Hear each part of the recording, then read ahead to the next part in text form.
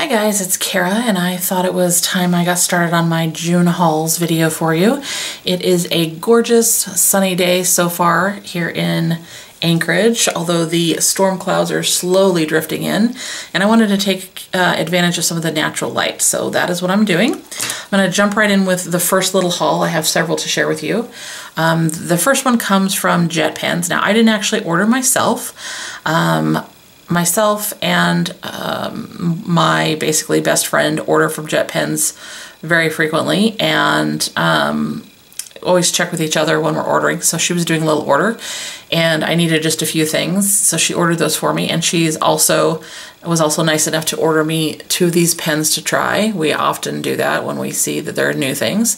These are two Sarasa porous pens. Um, they are supposed to be water resistant. They are, I believe, 0.8. That's what they look like. I don't know which pink this one is because again I didn't order it but this is a pink and this is I think supposed to be their version of a gold. Um, the other little things that I got came in this box and I used it just to write out these two ink colors so you get a, a look at what they look like. So there they are. I also needed some refills for my favorite work pen, which is what these are for. They are Pentel 0.5 needle tip. And that's honestly why I like them. I've currently been using the black, but I wanted a couple other colors, so I got it in a pink and a violet color as well. And hopefully kind of see that little needle tip.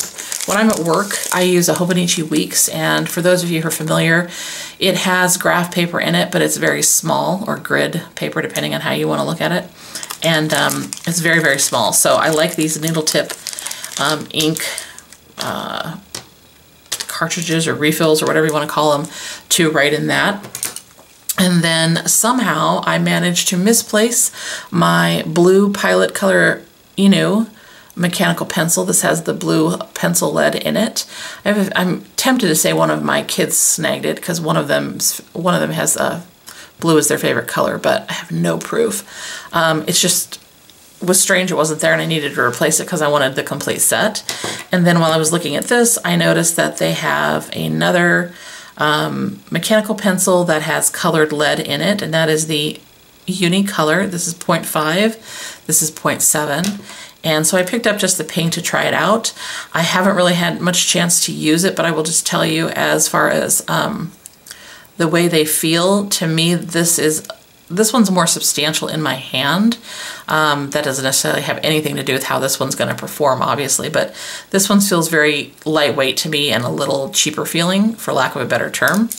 Um, but that's no big deal. It still may be great pencil lead. Um, I also picked up a couple of new little sets from Designs by Rachel uh, Rachel Beth, sorry. And I'm kind of rounding out my colors. I have a ton of her little sets. I love her colors. She's great customer service. She's super, super helpful. And so I picked up a couple new sets and then a couple individual pans. So this is the first one I got. Again, if I haven't said it, this was two separate orders. So here's the first one. This is a latte date. And you can see the colors. It's kind of got some browns and a little bit of kind of orangey colors. Um, and hopefully you can see those little names in case you're interested. And then this next set, let me pull out the ones that don't go. Uh, let's see. This next set has another little set of four in it. And then she added two other pinks that I was interested in getting, again, to kind of round out um, the colors that I wanted um, or felt that I needed. Here's the set first. Hopefully you can see that. Really pretty looking colors, and I will eventually do a video on all of them. Uh, and then I had these two that I also picked up. So two more pinks. You can kind of see a little bit different than that one. I wanted some options, and obviously I can mix them too and change them up a little bit. So I got those. And then I purchased a few things, um, some new pencils from uh, CW Pencil Enterprise, and I've purchased from them before. Their stuff usually comes in a big uh, yellow envelope like this. So first things that I'll show you are these that I purchased. I picked up um, three more erasers. Now these top two I've had before. Um, I just like them so much I wanted to have a second one of them. And this is a new one I wanted to have. I'm gonna do, I'm planning on doing a kind of semi in-depth review of erasers and I want, you know, more variety to show you guys. And then these are little pencil caps that are, are my favorite. I prefer these over that other kind. Um, I don't think I have any, let's see, laying around. Um, here I Okay, so here's what they look like when they're on a pencil. Okay, and they're, I like them as opposed to these. I still have these, I'll still use these. I just think these, to me, look a little bit more retro, and I just think they're kind of cool looking. So I noticed that they were back in stock, and I picked some of those up. And then I picked up several different pencils, and I actually have my invoice next to me because I'm never going to remember what's what. So let me pull these out and I will share them with you. Okay, so I bought three of these. They are the, um, and I might not pronounce all these correctly, so I apologize in advance, the Futura number two pencil. And you can probably figure out why I bought them just looking at them because they are all kinds of pink prettiness. So I got those, okay. And then I picked up two of the um, Stabilos. If you guys remember, I have the Stabilos. I think I have a, a black, a brown, and a graphite, the kind that are um, that work with water really well. And they had a red and a white, and I thought that would be fun to add to my collection and play around with. So I grabbed those. Then because I was on a kind of water soluble kick and I thought that might be a good future video. I picked up a couple others that um, are supposed to be water soluble. One is Caran d'Ache, that is this one right here. Um, and it, I believe, let's see, it is supposed to be an HB pencil lead, also supposed to be water soluble. And then I picked up this ArtGraf one, um, and it is supposed to be a 2B and water soluble. So I'll when I do the um, review of like the water soluble pencils that I have, um, I'll go over a little bit more detail on when when I do that. Then I picked up just this. Um, I'm not going to say this name right. It's a Kito Boshi.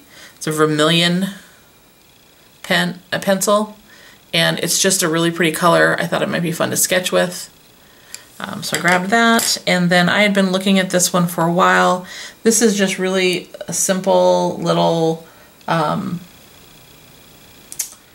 seven color rainbow rainbow pencil, and if you can see it, it's got all those. Gives you a little look right there, and I just honestly thought it would be fun. So I grabbed those. I'm very definitely enjoying different pencils and I'm actually thinking um, I may start kind of separating out my pencils from some of my other supplies.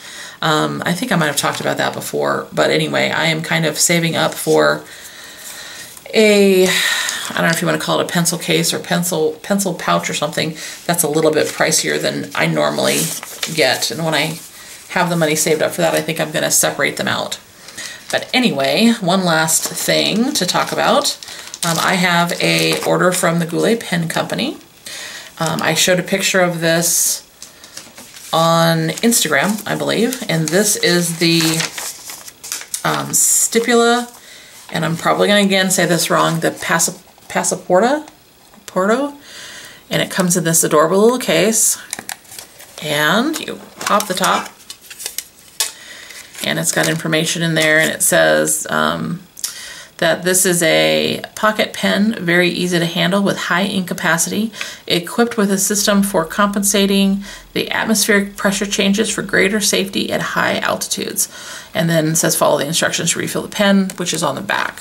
So this is obviously a very small pen, okay? It's a fountain pen, and it is also an eyedropper, which is, it's my first eyedropper.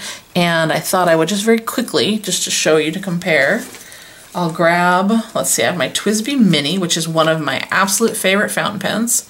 So nice and small and portable, right? There is the size difference with that. And then I have kind of a regular sized TWSBI. I think this is the, I think it's called the 580. And then you can see both of those up there. So anyhow, I had seen this one and I just thought it was too cute to pass up. Um, if you want to see it uncapped, there it is. This should fit on here semi-firmly. I don't know if it's going to stay on really well, but either way I could write with this if I needed to. It is awfully small, so if you have larger hands or don't like small pens, you wouldn't like it. It's, I'm pretty sure, all plastic. Um, this is a fine, I think, nib that I got. Let me just double check. Yes, it's a fine nib. And in addition to uh, coming in kind of this clear, I think they're calling it crystal or demonstrator pen type, it also comes in a kind of a matte black looking thing. And then in here with it is a couple different um, containers of ink, which I thought were really cool. And if I can figure out a way to save these and reuse these little things, I'm going to. Um, and then it also has a little what I'm assuming is a tool to help you fill it up. Let's see. Yeah. Anyway, I thought when I opened it up, it looked kind of cool, kind of like, you know, um, James Bondish, secret agent, whatever you want to call it. So I'm looking forward to playing with that in the next day or two. And then lastly, I picked up some ink samples. This is actually just three different ink samples.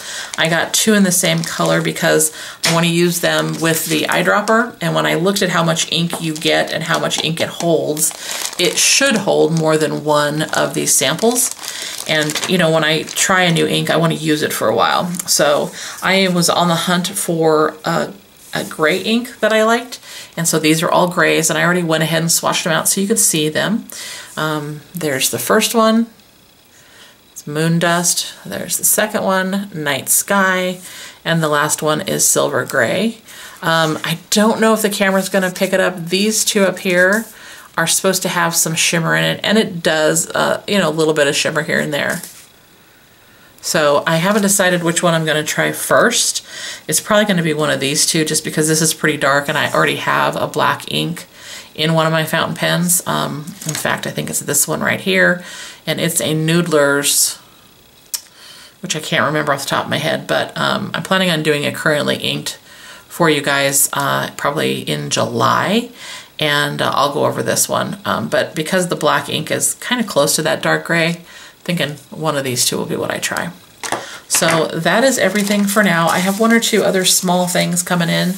Uh, hopefully next week. Next week is the last week of the month.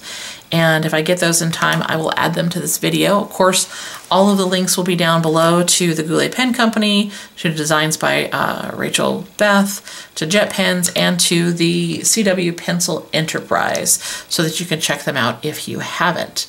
Um, if you have any questions for me, please leave them down below. And as always, guys, I really appreciate you watching it, uh, my videos, and I hope you're having a great day wherever you're at. Bye, everybody. Hi guys, I have a few small last little hauls for the month of June to share with you and I'm going to start by showing you what's in this bag. These are just a few things that I picked up at a local art store. If you're here in Anchorage, this is from Blaine's. Um, to my knowledge, it's our only real art store, art supply store that we have. I mean, we have a Joann's, we have a Michael's, but this is actually kind of a true little art store. And I try to support it because it's a local business. that is a little bit more expensive than buying online, but depending on shipping, a lot of times it evens out. Um, I went in today with only really one thing that I wanted to look for, but I always, of course, look around. I found a couple other small things and I was definitely in need of some retail therapy because it has been a week at work. So Anyway, I'm going to jump right in. I have been using this particular Copic multi-liner. It's the um, 0.3. Looks like that. I've been using it mostly for writing um, and I'm loving it. And I'm also thinking that um, I'm getting ready to try and do maybe like 100 days of sketching or something like that. And I'll probably start with pencil, but I like this Copic multiliner and I wanted to get some more because I think I will be using it, or them, maybe, to, um, you know, after I've done the pencil sketch to use the marker to kind of fill it in. Um, although I do have another kind coming too that I want to try. But anyway, I went to Blaine's to get some more of these multi-liners. Now I do have these in other colors, but I was there today just to get them in black and I didn't know what size I had at home, but I actually got really lucky and I picked up three in sizes that were different than the one I already had, which was pretty perfect. So I picked up those three and I picked up just a couple little sets of these ATCs um, with watercolor paper. Now I could have probably just made these myself, cut them out of some water paper, but I just thought they were cute, they were easy, I didn't have to do anything, and uh, July is, I think it's watercolor month, so I thought these might be fun to play with um, during that little month, that little project. And then because I am on a um, eraser kick, I found this Faber-Castell eraser and thought I needed to try it because it wasn't like anything else that I had in my little collection. Slides out like so. Thought it looked pretty cool, so you know I had to pick it up and give it a try. So there's that. And then lastly, I picked up another water brush. Now I have several um, water brushes, a couple, two or three different kinds, but I don't have this um, Aquash by Pentel water brush, so I thought I would try one. It's made a little differently than mine. Most of mine are like this. And I believe these are by Kuretake, but I could be, no, yeah, they're Kuretake, Kuretake, and yeah, all of these are Kuretake. So I wanted to try one that was slightly different, so I picked this up. Okay, so that's all I got at Blaine's. Then in the mail today, I got a couple of inserts that I had ordered for my passport um, traveler's notebook. Um, and, well, actually, one of them I'm not going to use on my notebook. The other one I will. But I purchased them in the passport size. Here is the first one. And they're always, you know, so cute, wrapped up. And then this is what it is. It's just like kind of a checkbook register. And this is how I just track my bank account. That usually stays home someplace. And then this one is a new one that I have not seen before in person. And it is a food journal. And I'll probably post some pictures maybe on Instagram or something as well. But I got this one because as I am rapidly approaching 50 this year, um, it is time for me to get a little healthier and I'm going to start tracking my food, tracking calories, carbs, things like that. And I wanted to give this a try. I think this is good for, I think, a month.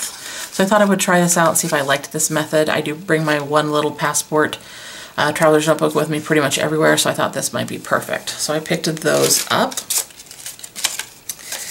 And then I picked up a few stamps, which you've probably seen before um, from Joggles. Um, I actually have a couple from this particular um, brand or maker, but I didn't open them up yet because I just wanted to show you this beautiful tissue paper that I'm going to very carefully open up because I can, you know, use that for collage material. I have been seeing um, Courtney, who is Little Raven Ink, um, use these quite a bit. And then I started to follow someone else on YouTube that actually I think Courtney recommended, who is, I believe, Josie's Muse. And she has a, a watercolor swatch book that I absolutely love. And I'm going to do some sort of a version on it, my twist on it. And she uses some of these stamps. These are obviously from Stamping Bella. If you guys remember, I have I have one of the watercolor palettes, the long one, which I've actually used to help me figure out what colors I wanted to use. And I can't remember the other one right now that I have. I don't remember at the moment, but I do have another one. So I picked these up to use in a watercolor swatch book myself. I wanted to have these options. So thanks Courtney for inspiring that purchase. And then the last thing I actually have to share with you guys is something that somebody made and sent to me. And um, for those of you who don't know, I do support Courtney on um, Patreon, Little Raven Ink. And um, there is a Facebook group that goes along with that. And someone there, Shannon, had posted some pictures of some lovely creations she had made and offered to send some to somebody, or to various somebodies because she'd made a lot. And um, I just wanted to show you what she sent. Now I've unwrapped it from the tissue paper, but I haven't opened it all the way up. So here is this gorgeous creation. As a matter of fact, let me move this over a little bit so you can see it. It's this beautiful pink color, which I absolutely love. And you can hopefully see the stitching and all that goodness. And you open it up like this. Look at how pretty. Now, she put all these little extras in, which is such a nice surprise. Thank you so much. I don't know if you'll watch this or not, um, but it was just so sweet. So a couple really cute bags. I love the polka dots. A cute um, paper clip with oh, cute little butterfly stickers. And let's see what else is in here. Like I said, I haven't gone through this. Some really pretty washi tape on a card, which I love.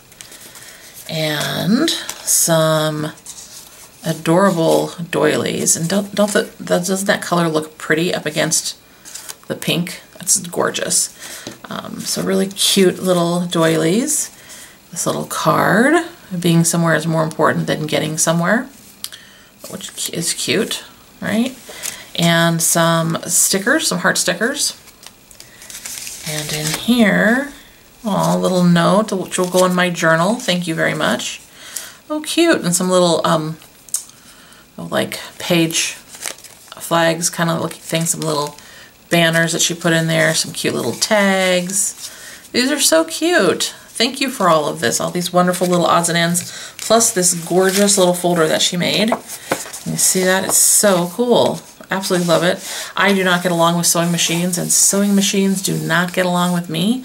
So I always appreciate when someone has the skill to do that. I wish I could because I love the way it looks. I love the frayed edges that you can create. I just think it's cool looking. So I really wish that I had that ability, but sadly I do not.